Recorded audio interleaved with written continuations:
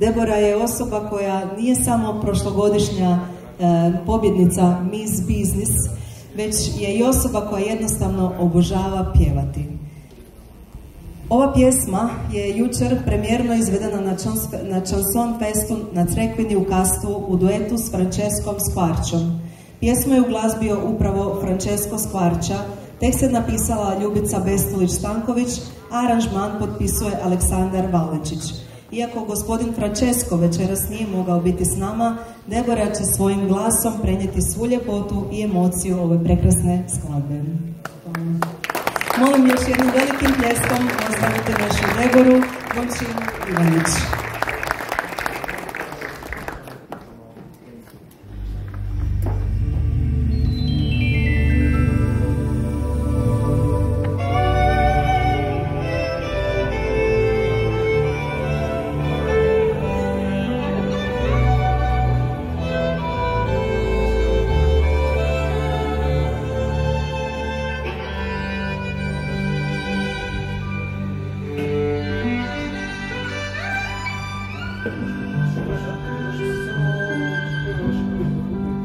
Došla je zima, bila je bila, za njom je proliče, rasulo cviće.